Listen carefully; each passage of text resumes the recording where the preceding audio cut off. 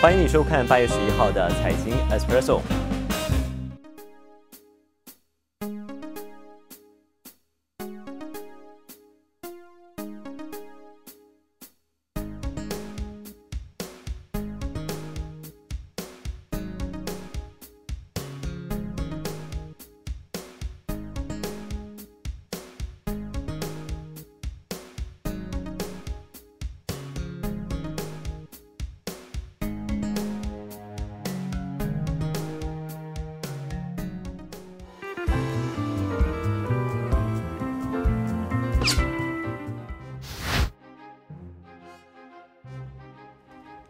晚上好，我是醒龙。万众瞩目的六周选举终于到来，随着马股连续两天小幅盘整，接下来周选的成绩公布之后，股市到底是起还是跌呢？艾比斯证券分析股市走向的时候指出，如果团结政府在选举当中的表现出色的话，将可以消除政治不确定因素，吸引外资回流，并且推动股市走高。如果富士宗旨顺利跨过一千四百六十五点，将有机会试探下一道阻力关口一千五百一十点。然而，艾比斯认为，如果国盟在州选举当中获胜的话，宗旨恐怕就会回落到一千四百三十七点的支持位置，因为到时候在野党可能会要求在国会进行不信任投票动议，以寻求罢免首相。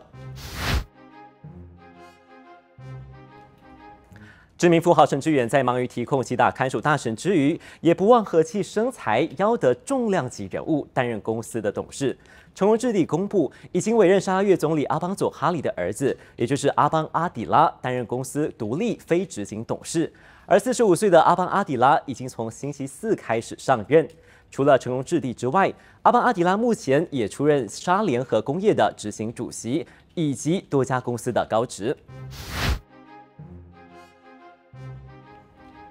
统计局发布的数据显示，国人失业情况持续转佳，六月失业率降到百分之三点四，按月微跌百分之零点一。尽管如此，青年失业率依然令人担忧。根据最新的数据，十五岁到二十四岁的青年失业率粘性仍强，保持在百分之十一高水平，比疫情前，也就是二零一九年十二月的百分之九点九来得高。值得注意的是，二零二一年一月开始攀升的非正规工作或者是员工，包括赚取每天收入的小商贩、小贩、零工族等自营业者，六月人数进一步扩增到两百九十四万八千人，也刷新了二零一八年十月以来的新高纪录。马银行研究的首席经济学家苏海米伊利亚斯特别提醒，从六月的数据可以看得出，非正规工作上半年增长百分之七点五，增速胜过整体就业增长的百分之二点七。目前，马银行维持去年失业率预估在百分之三点五不变，而上半年失业率也在百分之三点五，预示接下来每个月的失业率或都是窄幅波动。